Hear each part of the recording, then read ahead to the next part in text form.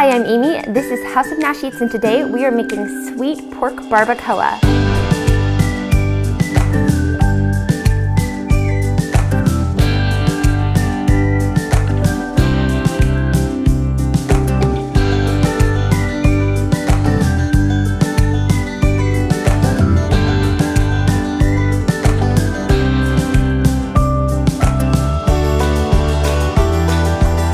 Okay, so we're going to make our sweet barbacoa pork by starting with a spice rub. Um, so here's how we do it. I've got a whole bunch of spices here and I'm just going to combine them in a bowl. So I've got some chili powder and some ground cumin and smoked paprika, some garlic salt, no, garlic powder, sorry, garlic powder and some onion powder, and then salt, pepper, oregano, and a little bit of brown sugar. Pork does really well with some brown sugar to sweeten it. And this is kind of a sweet meat and we'll add a little more brown sugar in our sauce. So we're just gonna stir all of those spices together to make our rub.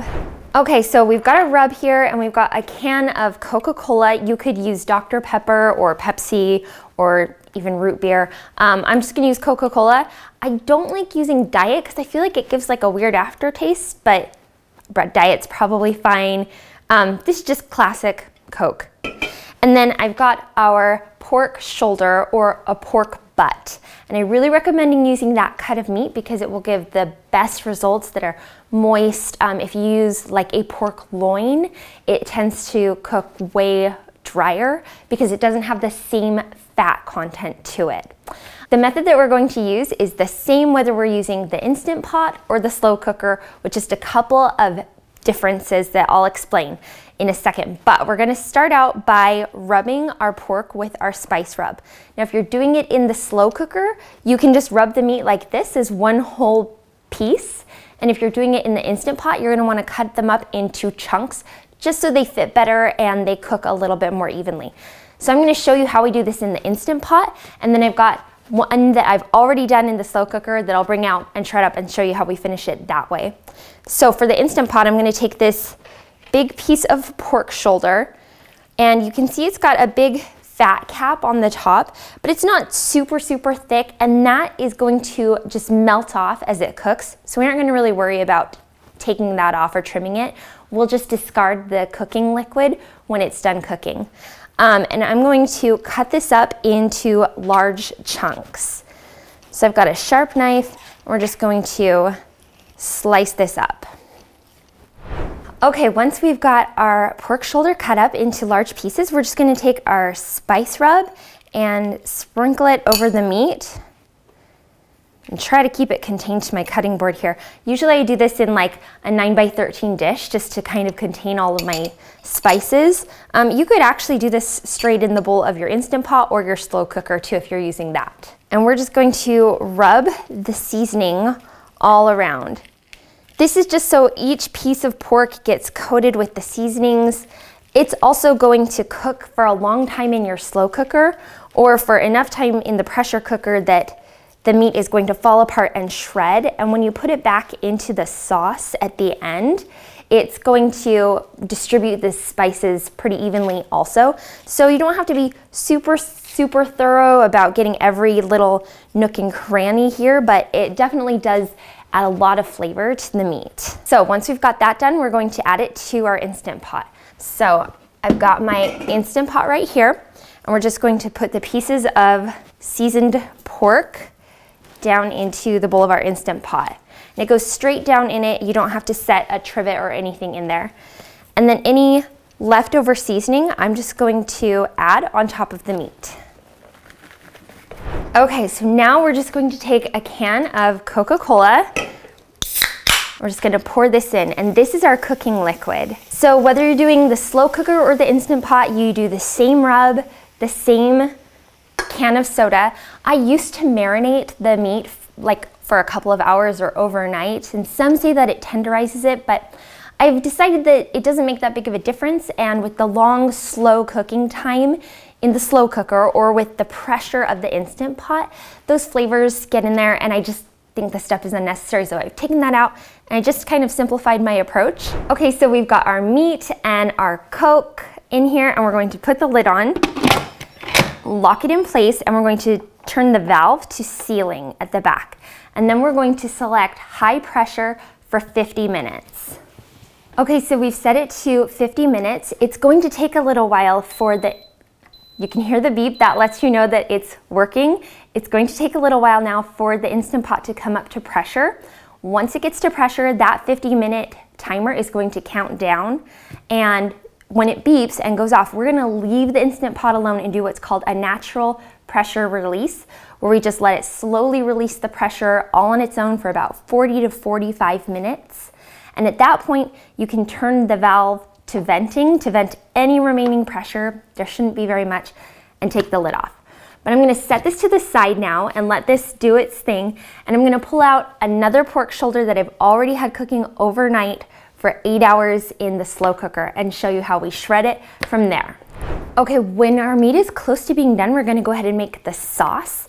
And all that goes into the sauce is we've got another can of Coca-Cola. Just gonna add that to our pitcher. And then I've got a small can of red enchilada sauce, a can of diced green chilies, and these are just mild, but if you like things with more heat, you could use medium or hot and then 3 fourths of a cup of brown sugar. Then we're just gonna put our lid on and blend that until it's smooth. It just takes like 10 seconds.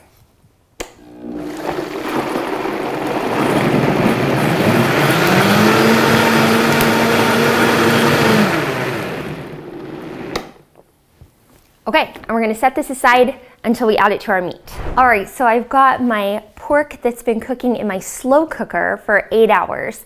And so the meat is going to be nice and tender. I'm gonna go ahead and take the lid off and we'll pull out the meat and shred it.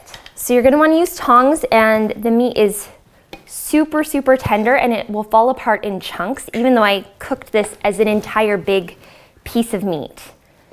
And there's going to be a lot of cooking liquid down in the slow cooker a lot of that is the fat that is melted off of the meat.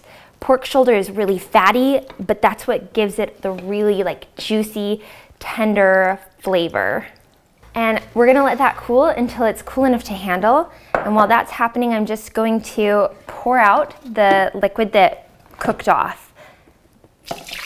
Okay, and we're just going to discard this liquid. Okay, so you can see that the meat is so tender, it just breaks apart. Even when I just touch it with my tongs, the meat is just falling apart into shreds. So this is super easy to shred. Um, you might wanna get in there with a couple of forks. You can use two forks to just pull the meat apart into little strings. And if there are any large pieces of fat, just go ahead and discard those because you don't wanna include those in your pork when you put it back in your slow cooker or Instant Pot. Okay, so once you've got your meat shredded, we're just going to return it to the Instant Pot or the slow cooker, whichever one you're using. And you can see this makes a lot of meat. This is from about five pounds of pork shoulder, and it's going to be enough to feed easily six to eight people. But you can also double this if your slow cooker or Instant Pot are big enough you can double the amount that you're making and serve a crowd. So this is great for parties. It also is great to make ahead because the meat reheats really well. So you can make it a couple of days in advance. You can even make this and freeze the meat so you always have some on hand for easy burritos, quesadillas, tacos, nachos, salads, burrito bowls. You can use this in so many different ways. Once you've got that in the pan, we're just going to take the sauce that we made and we're going to pour that over the meat.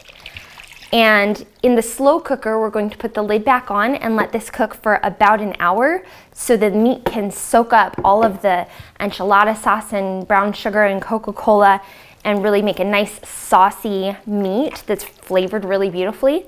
If you're using the Instant Pot, you'll just want to press the saute function and use that feature to cook the meat for about 15 minutes and then it will be ready to go. It still takes a while using the Instant Pot because of that long natural pressure release, but you'll have this done in about two and a half hours from start to finish in the Instant Pot. If you're using the slow cooker, it's going to take about nine to 10 hours total. So they both work great. One is good if you're just starting dinner in the afternoon. The other is great if you want to do it before you leave for work in the morning and it will cook all day long and be ready when you get back.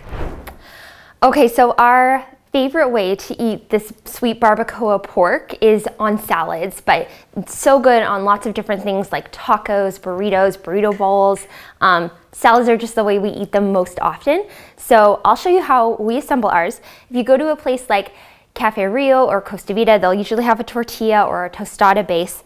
We're just gonna skip that today, and I'm going to start with some black beans, and I have cilantro lime rice, you could use pinto beans, Mexican rice, whatever you want. This is just how we normally do ours. And then we're gonna put the pork underneath and put the salad toppings on top. So I've got our sweet shredded pork and it's really juicy and it smells so amazing. So I'm gonna do a pretty generous amount of the pork. Then I'll top that with some crispy romaine lettuce. And then I've got some homemade pico de gallo. And I've got recipes on my site for the pico, the cilantro lime rice, and the black beans. So I'll link to all of those below so that you can print those out and make the whole thing if you want to. And then some crispy tortilla strips, some guacamole, and then I've got this cilantro lime dressing that is so, so delicious.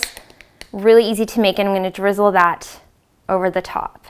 And then you could also add a sprinkle of cotija cheese, some fresh cilantro, kind of whatever you want to make the salad just how you like it.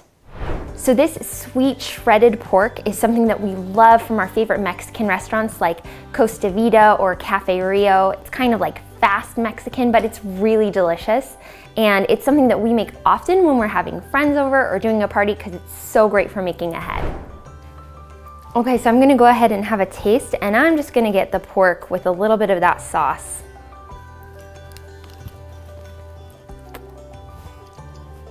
Mmm. You guys, it's so juicy. Just the perfect amount of sweetness with the seasonings. It's super delicious meat. It's great in salads and in so many other ways. You're going to love this recipe. Thanks so much for watching. I hope you guys love this recipe. Be sure to like and subscribe to my channel for more great recipes just like this.